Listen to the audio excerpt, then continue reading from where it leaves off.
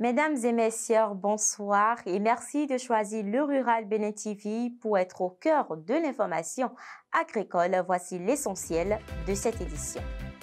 Les acteurs de la filière crevette ont tenu le cadre de concertation ce mardi 12 mars 2024 au siège de la Fédération des unions de producteurs du Bénin, FUPRO Bénin à Boycon. Vous aurez les détails dans ce journal. La Fédération nationale des femmes agricultrices du Bénin, FENAFAB, en partenariat avec Cœur Bénin Togo, a célébré la Journée internationale des droits de la femme GIF 2024 à travers le thème Investir en faveur des femmes agricultrices du Bénin, accélérons le rythme. Et puis, nous parlerons dans le dossier du Forum de partage d'informations sur l'entrepreneuriat agricole au Bénin organisé par le groupe de presse Le Rural, toujours dans le cadre de la célébration de la Journée internationale des droits de la femme.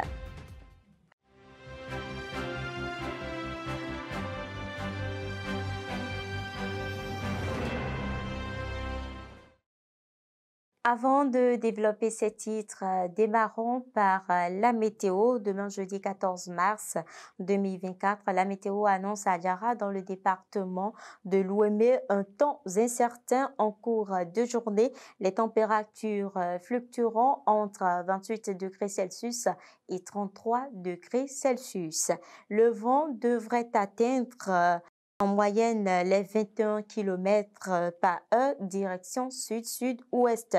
Dans l'après-midi, le ciel deviendra un peu nuageux et les risques de pluie sont de 35% le soleil se lèvera à 6h56 minutes et se couchera à 19h01 minute.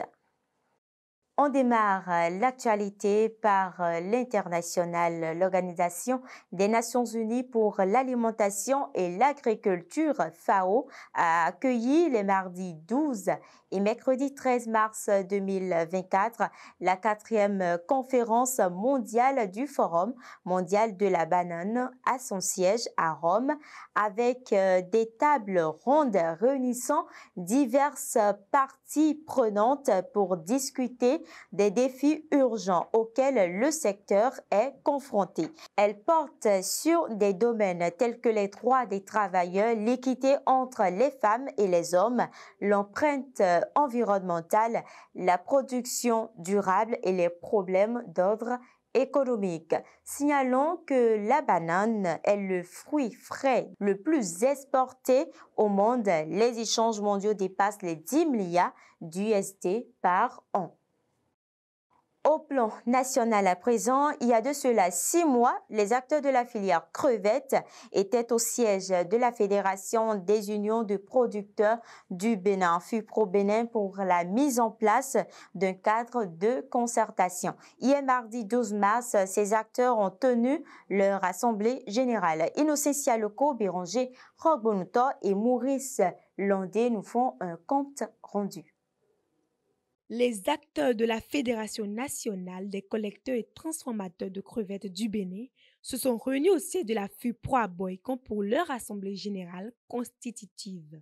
Ceci intervient dans le cadre de la mise en place de cette fédération. Acteurs de la filière, membres, représentants des coopératives et organisations partenaires étaient tous de la partie.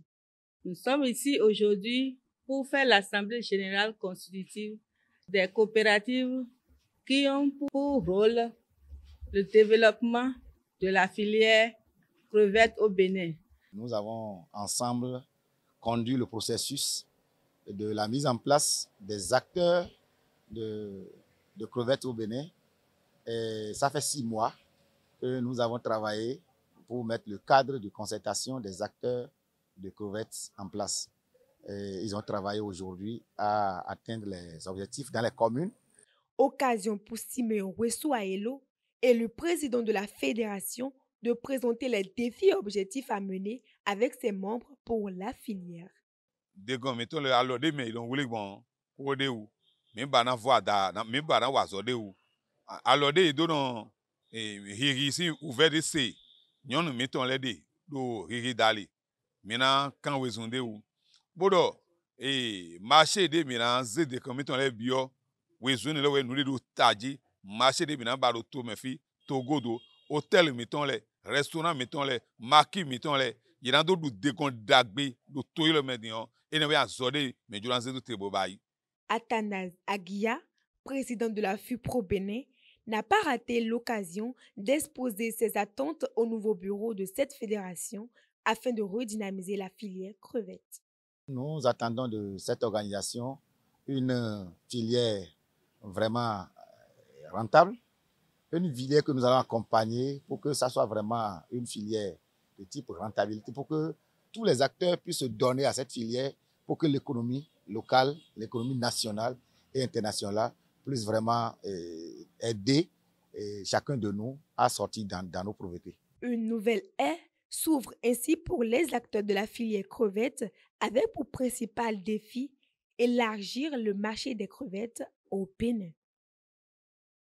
Toujours dans la journée d'hier mardi à Bomé, la Fédération nationale des femmes agricultrices du Bénin, FENAFAB, en partenariat avec Cœur Bénin Togo, a célébré la femme agricultrice à travers le thème Investir en faveur des femmes agricultrices du Bénin accélérons le rythme. Cette célébration s'inscrit bien sûr dans le cadre de la journée internationale des droits de la femme GIF 2024. Le résumé de cette activité avec Oyeyemi Agani, Martial Aransou et Brunel Koukonou.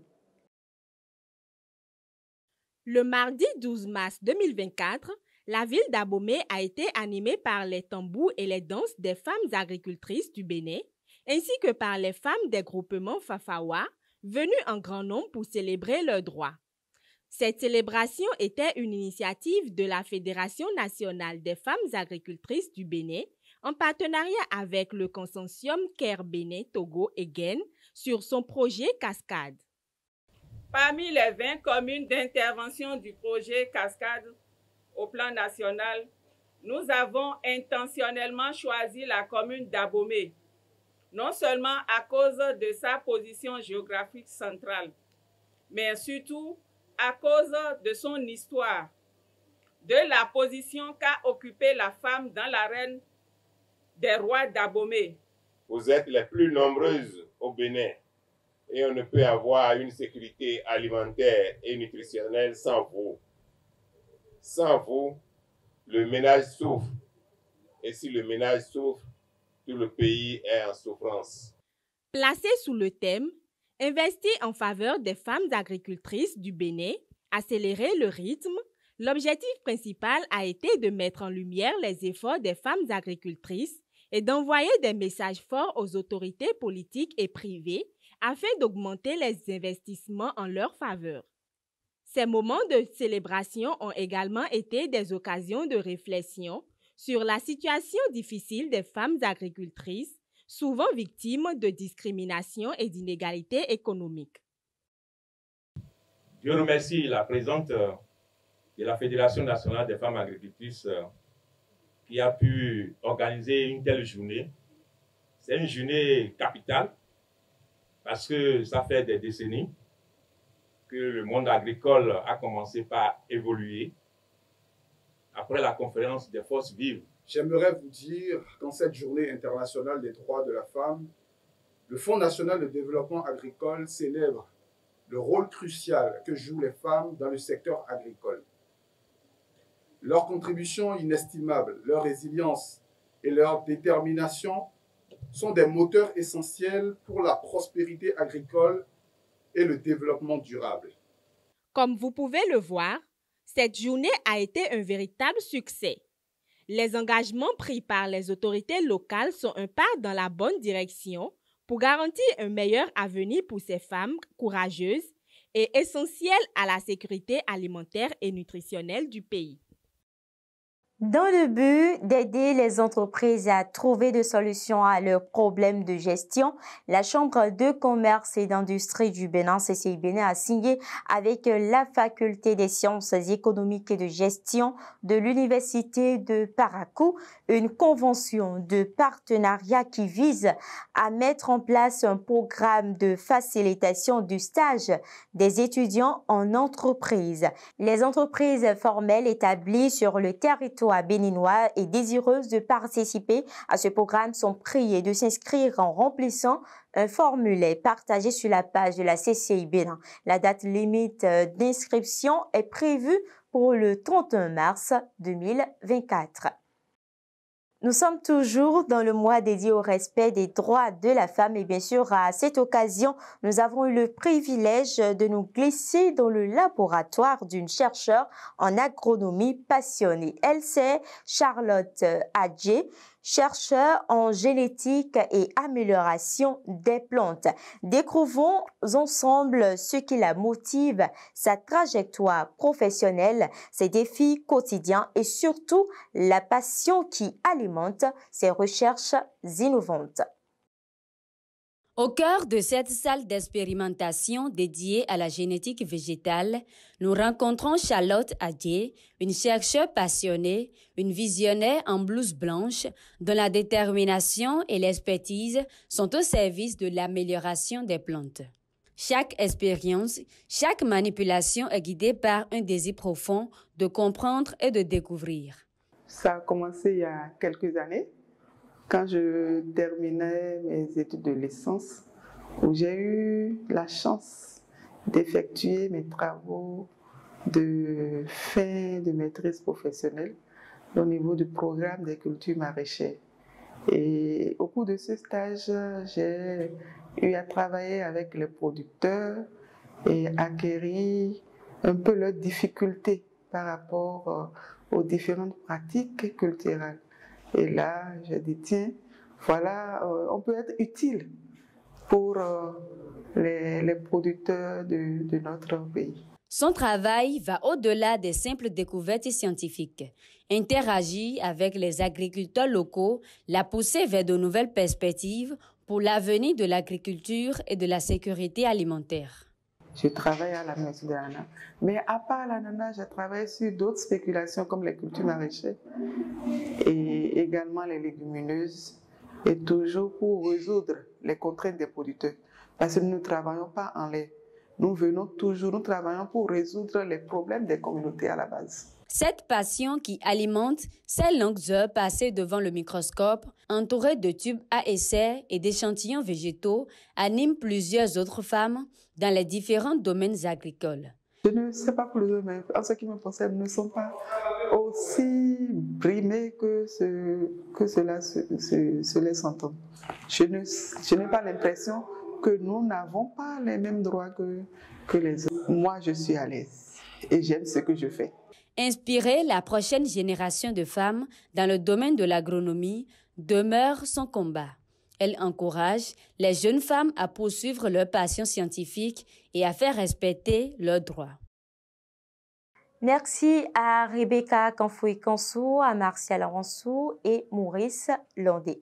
On reste dans ce sillage de la célébration de la Journée internationale des droits de la femme. En effet, le groupe de presse Le Rural a organisé un forum de partage d'informations sur l'entrepreneuriat agricole au Bénin, tenu à l'hôtel Koburu City de Parakou. Cet événement a réuni un large éventail d'acteurs autour du thème principal de la GIF, investir en faveur des femmes, accélérer le rythme. Le compte rendu de ce forum, c'est dans le dossier de ce soir avec Cédric Bakpé, Ronel Goudou et Baïcha Dichari. La célébration de la Journée internationale des droits de la femme édition 2024 a été particulièrement spéciale pour les femmes entrepreneurs du secteur agricole. Lors du forum AgriTalk, elles ont échangé, partagé leurs expériences et discuté de l'entrepreneuriat féminin dans le secteur agricole, ce qui correspond parfaitement aux objectifs du forum. Le thème de cette édition invite à une réflexion approfondie sur l'entrepreneuriat féminin et son articulation avec la croissance économique et le développement local. C'est dans ce contexte que s'inscrit l'organisation de cette édition du Forum Agriculture. Une initiative du groupe de presse agricole Le Rural 2019, dont l'objectif est de sensibiliser et informer les acteurs impliqués dans la promotion de l'entrepreneuriat féminin au Bénin sur la nécessité d'une synergie d'action. Un forum enrichi par la participation de plusieurs projets programmes qui œuvrent pour la promotion de l'entrepreneuriat féminin ainsi que par des autorités locales. De toute évidence, cette édition est particulièrement opportune en ce sens qu'elle confirme une fois encore notre engagement dans la promotion de l'entrepreneuriat féminin à travers diverses actions en faveur des femmes dans les départements du Bordeaux, de la Tonga et des communes. Le programme ACMA 3 reste convaincu que cette nouvelle édition nous ressortira des mesures très inclusives sur les politiques et investissements au profit des femmes entrepreneurs. Nous vous rassurons par la voix que nos ambitions se rejoignent. L'initiative du Forum agricole du groupe de presse Le Rural répond parfaitement aux priorités de notre municipalité car elle met en valeur les potentialités des femmes entrepreneurs de notre commune et de notre pays, le Bénin. Je doute point qu'avec ce parterre d'invités constitué de représentants d'organisations de femmes entrepreneurs, de responsables de projets, programmes, des institutions et agents étatiques, des médias et des structures d'appui à l'entrepreneuriat féminin, que des propositions pertinentes sortiront pour nous permettre de mieux orienter nos actions futures. Investir en faveur des femmes, accélérer le rythme, tel est le thème principal de ce forum AgriTalk. À travers trois panels distincts, des échanges approfondis ont eu lieu sur l'entrepreneuriat féminin à l'aide du numérique, le financement agricole et l'accès à l'emploi pour les femmes. Nos femmes entrepreneurs, nous devons entreprendre dans tous les domaines. Nous devons nous. Ne baissons pas les bras. Tenons-nous la main dans la main. Comme ça, nous aurons un bon résultat. Il y a des femmes aussi qui se battent pour acquérir le domaine. Et compte tenu du genre qu'on toujours piétrer, on fait voir du rouge à ces dames. Si bénéfice peut quand même s'approcher de l'État aussi et surtout de la justice, lorsqu'une femme va se retrouver dans telle situation, on puisse vraiment l'accompagner. Nous n'avons toujours pas la chance de faire ces genres de, d'avoir ces genres d'échanges. Aujourd'hui, grâce au panel qu'on a eu, surtout sur le développement des sujets qu'on a eu à faire, j'ai compris les opportunités qu'il y a dans mon domaine.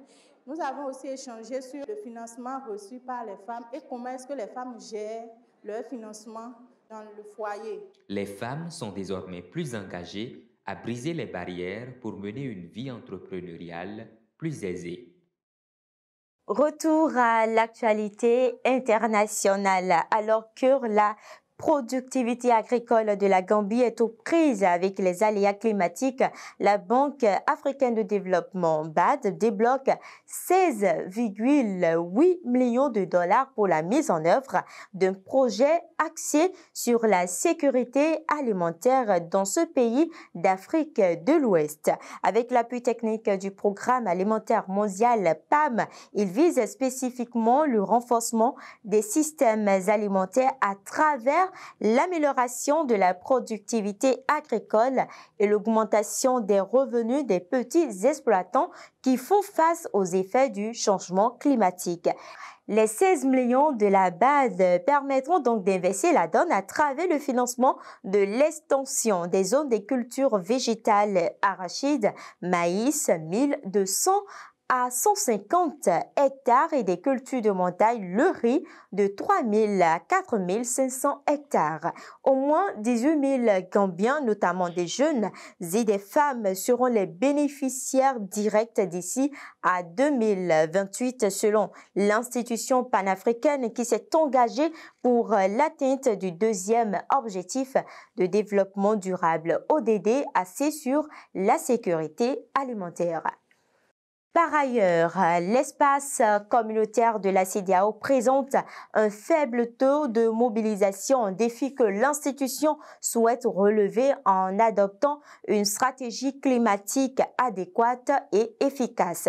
Une réunion sous-régionale s'est donc tenue les mardis 12 mars et mercredi 13 mars à Lomé réunissant les pays membres et les spécialistes de la question. Ce forum de deux jours a permis de lancer le projet régional de préparation à l'accès aux fonds verts pour le climat. Il a permis également aux États et institutions présentes de mieux comprendre les possibilités de financement climatique pour le secteur de l'agriculture et de l'élevage, y compris la mobilisation du secteur privé qui joue un rôle crucial. Cette réunion a offert à chacun la possibilité de partager les défis rencontrés dans la mobilisation des fonds climat pour la résilience de l'agriculture dans son pays. Et c'est ainsi que se referme ce journal de la rédaction de Le Rural Bénin TV. Merci de votre fidélité et très bonne soirée à tous.